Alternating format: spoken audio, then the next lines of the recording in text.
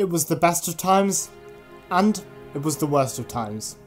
It was the spring of hope, but also the winter of despair. This is the French Revolution.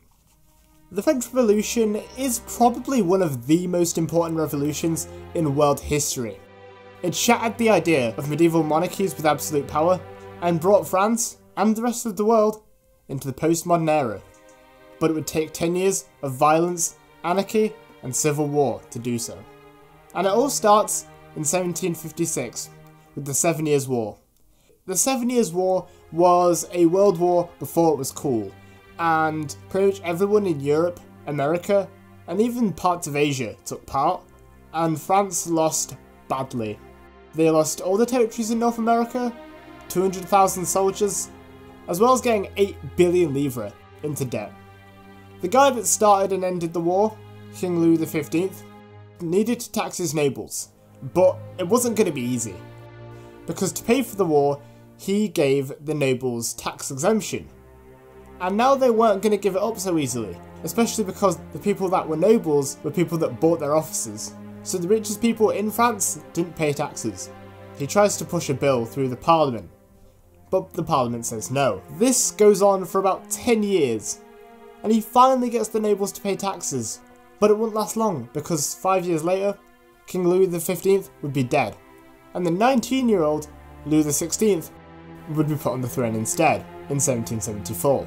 Louis got convinced by his nobles that, you know, maybe you should scrap that thing about us paying taxes. Um, and because he was 19 and very impressionable, Louis said okay.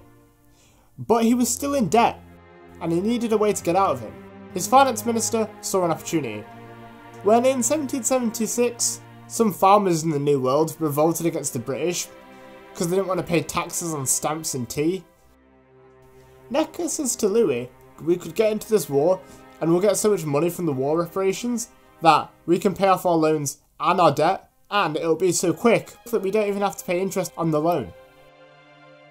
Except the war in America wouldn't be short and it would last 8 years. But by 1789 the jig was up and they weren't just in debt, they were broke. So Louis says to his nobles, I'm going to tax you for an unknowable amount, for an unknowable amount of time, until I'm out of debt. The nobles said, fine, but... And then Louis said, I'm going to tax all French citizens at a rate of 5%.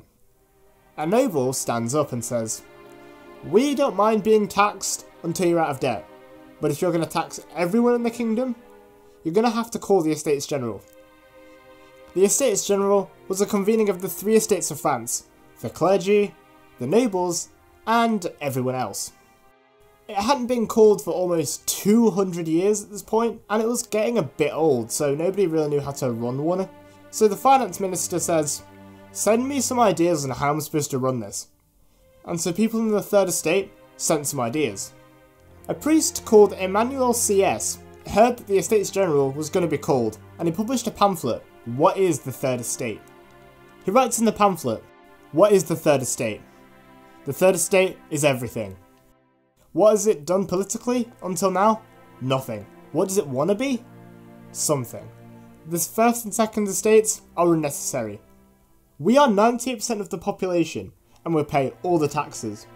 We should at least get double the amount of voting power at this convention and we should vote by head.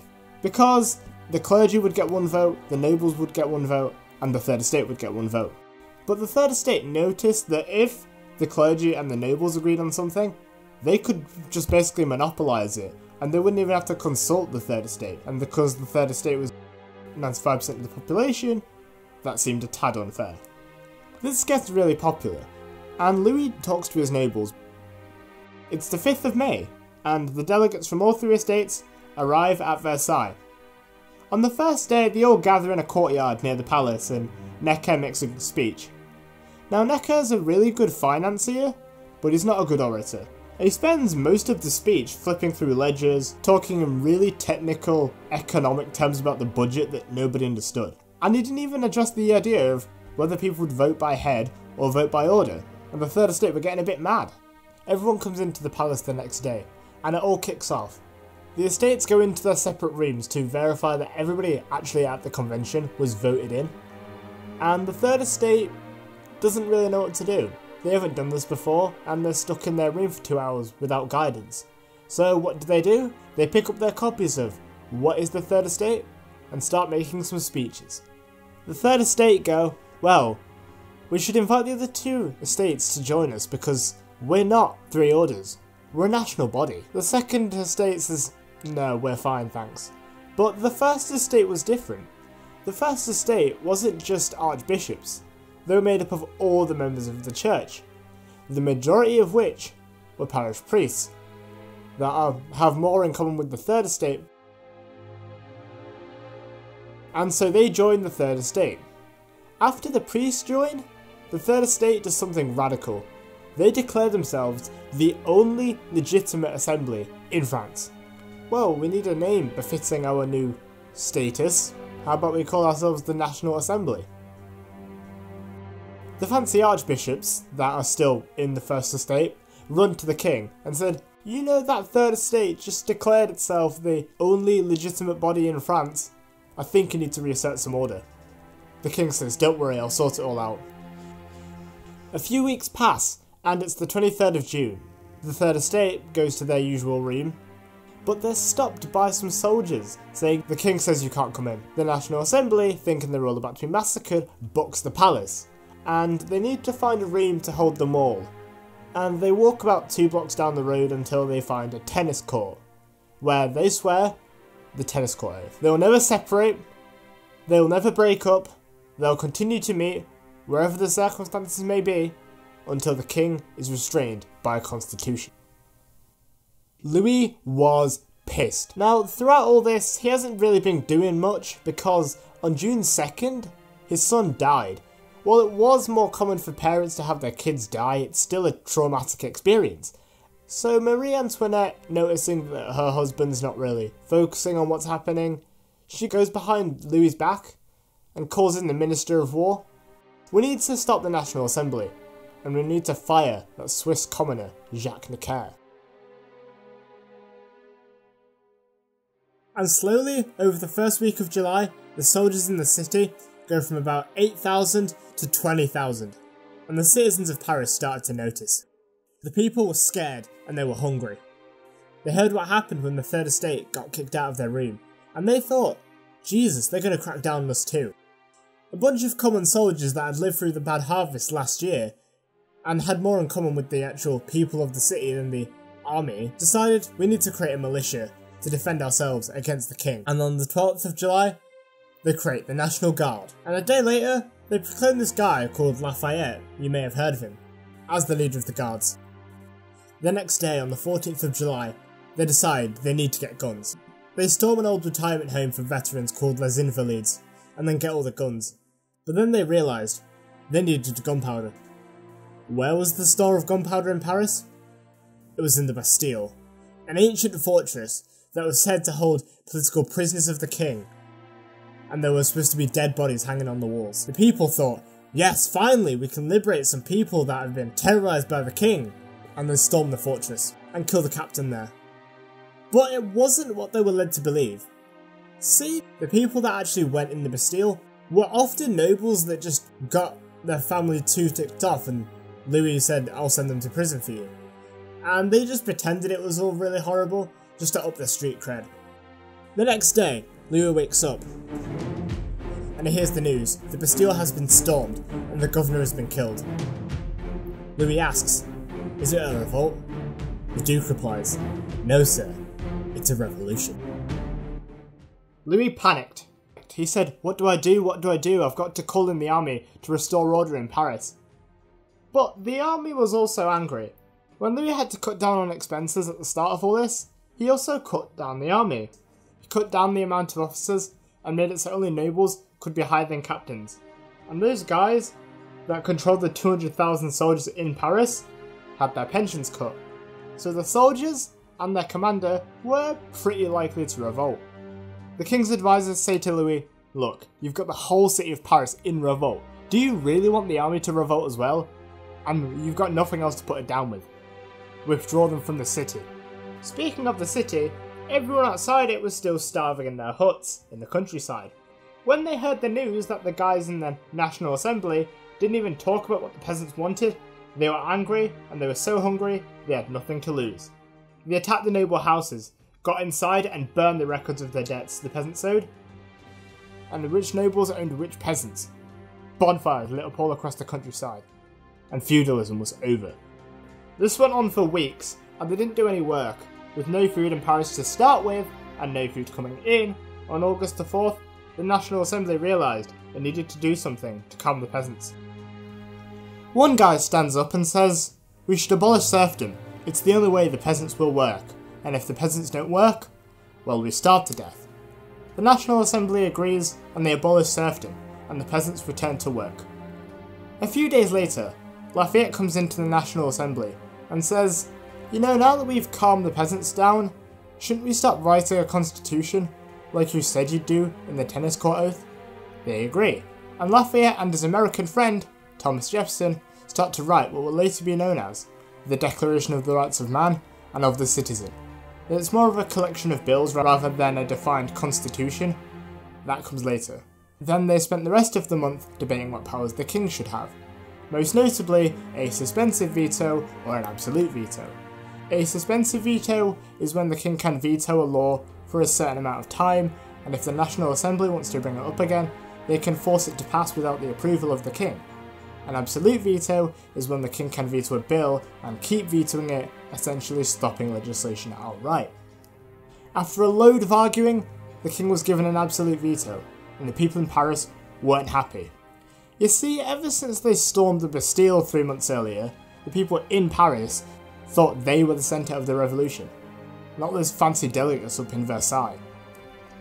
At the palace in Versailles, nobody was really guarding it, so on September the 14th, Louis and his war minister go to the National Assembly and say, We're going to call the Flanders Regiment in to guard the palace. The Flanders Regiment is the best regiment in the French army. They were super disciplined and super loyal to the king. But most importantly for the National Assembly, they would be so intimidating that they would stop a mob from trying to form up in the first place, because nobody would be stupid enough to take them on. However, by early October, the peasants were still starving, and the price of bread since the fall of the Bastille had gone up by half, and they were starving. When your mother, your brother, your daughter, and your son are all starving, you're going to do anything it takes to get a good price for bread. The wives and mothers could only find one place to get a good price for bread. They were going to march on Versailles, and they didn't care how many soldiers there were. They marched miles and got to the gates of the palace, and the National Guard followed them. Because they were starving, it was their mother and their daughter that were also starving. So why wouldn't they follow you? Louis came out and said, I'm actually trying to bring grain to Paris, but there's nothing I can really do. And yeah, I'll go to Paris to be closest to my people. Louis wasn't an absolute king anymore. He was a prisoner to the mob. I think the king knew this, because when he came to his palace in Paris, he goes to one of his aides. Can you bring me a book from Versailles on Charles I of England? Charles I of England was an English king that got overthrown by the people and lost his head at the chopping block. Meanwhile, the National Assembly moved into their new legislative building. And this is really important. At the start of July, the guys in the National Assembly stayed with people from their own counties. However, after six months of getting to know each other, they began to form groups of people that believed the same stuff. So when they moved from Versailles to Paris, they lodged together and they became more ideological. Out of this came the main political party of the revolution, the Jacobins. But they were still in debt, and Necker came down to tell them this. He said, I know you all care about your liberty, representation, and the nation controlled by the people, but we are still broke. Because food was scarce, and they didn't have enough gold, and inflation was super high, they could only find one thing to back their currency in land. And who had the most land in France? The church.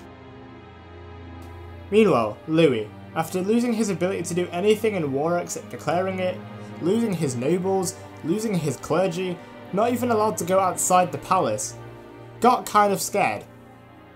And in December 1790, he writes a letter to the Prussian king, asking him to please invade the country and destroy the revolution. After surviving an assassination attempt, by June 1791, the king decides this has gone too far he took his family and the servants with him and they headed to the Austrian border to try and escape. However, they got stopped outside Varennes after a postmaster general saw this massively ornate carriage in the middle of rural France, pulled up to them, noticed the servant's suspiciously large nose, pulled out a banknote, realised, damn, only the king has a nose that big, and took him into custody. They confessed to being the king and queen, fleeing the revolution, and they were taken back to Paris with 6,000 guards. Some radicals in the National Assembly, led by a guy named Danton, who was part of the Jacobin Club, made a speech calling for a republic. A guy named Robespierre, who was also in the Jacobin Club, stands up and says, What's a republic? You can put the king in a tiny box, but you can't get rid of him. He's too fundamental to the state. The assembly was pissed that the king tried to flee on their watch, but they couldn't really do without him. So they made up a lie saying he was kidnapped by a noble paid by the Austrians. But the people didn't buy it.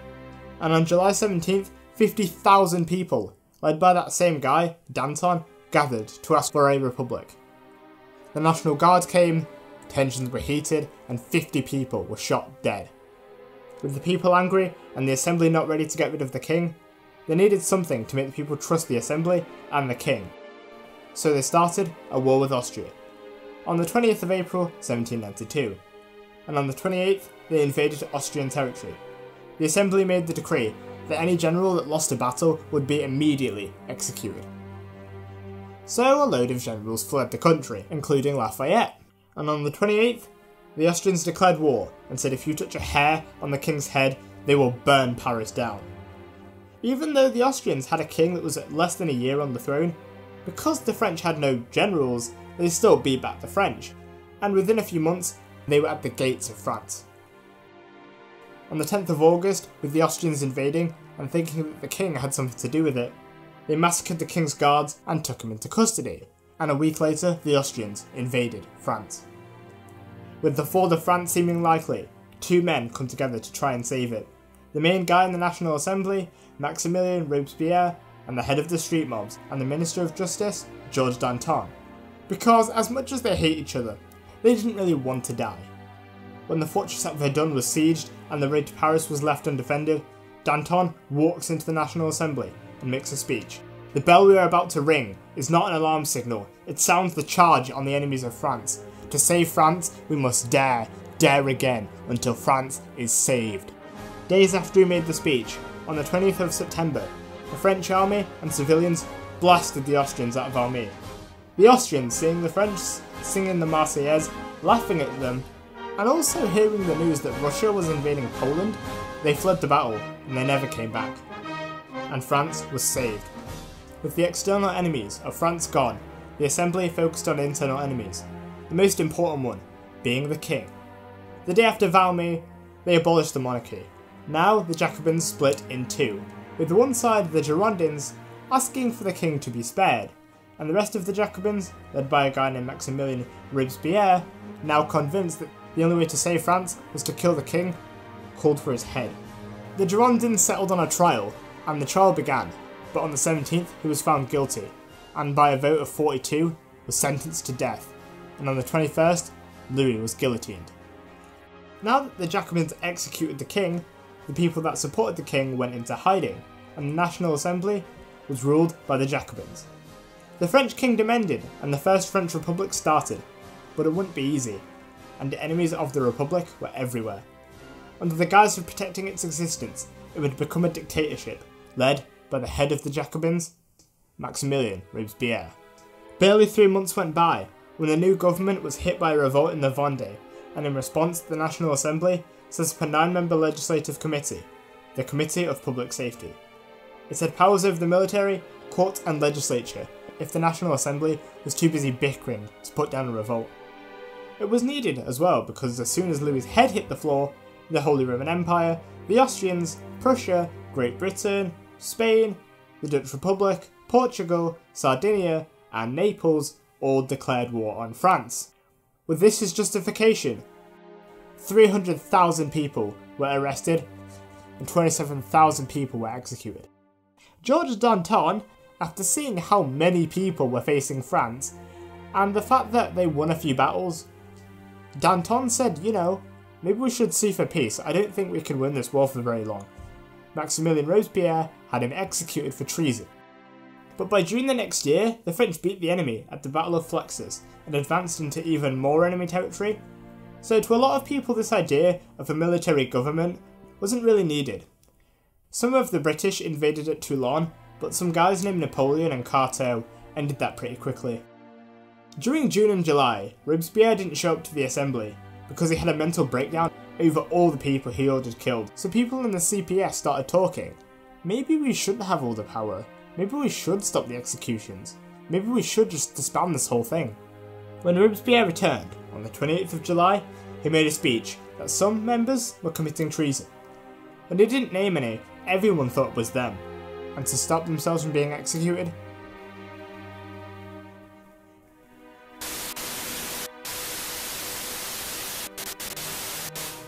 Be it known that the Paris Commune, by dint of its actions protecting the criminal Robespierre, is now in open rebellion against the nation. Soldiers under the command of the National Convention have been dispatched to apprehend the traitor Robespierre and his followers.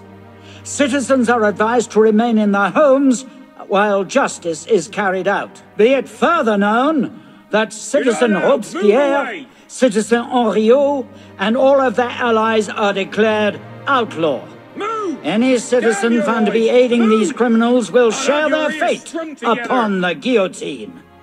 Revolutionary justice shall prevail. The next day, Robespierre was arrested, and a day later, on the 28th, Robespierre and his brother were guillotined. The National Assembly starts drafting a constitution, which would hopefully end the street fighting and the bloodshed. They would create the Directory. And they promised to try and prevent tyranny, bring stability and democracy back to France. Did they? Of course not. This is part of the Project Revolution collab with a bunch of other history YouTubers. If you want to check out some of the revolutions, you can check out the Cynical Historians video, whether the American Revolution was really a revolution at all. If you want to know what happens in France after this period, you can check out Barris's video on the July Revolution of 1830.